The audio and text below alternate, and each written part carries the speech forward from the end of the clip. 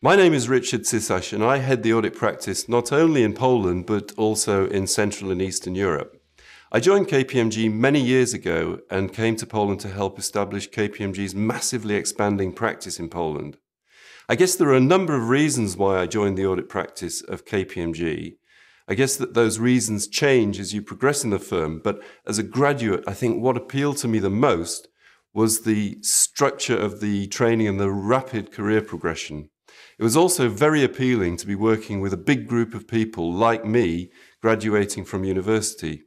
But with time, I came to realize that auditing in KPMG is a very challenging and satisfying career. You know, we have continual training on the job, technical training in the classroom, and soft skills training like negotiation and presentation skills.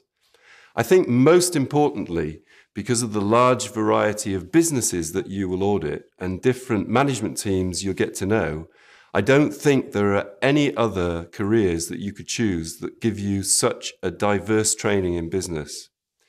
You know, I passionately believe you could not get a better start to a career in business than by joining us at KPMG. So please visit us at kariera.kpmg.pl and learn how to join us. See you soon.